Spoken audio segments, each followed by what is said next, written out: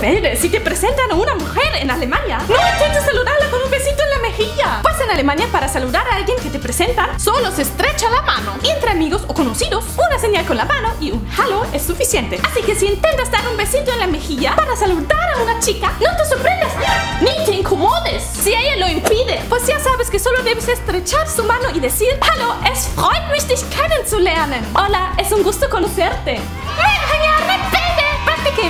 Saludarás en Alemania. Hallo, es freut mich dich kennenzulernen.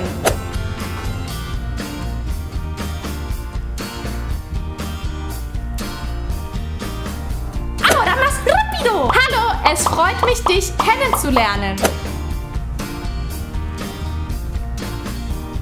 ¡Sí! ¡Pronunciaste muy bien! En un próximo video aprenderemos qué decir si la alemana que conociste te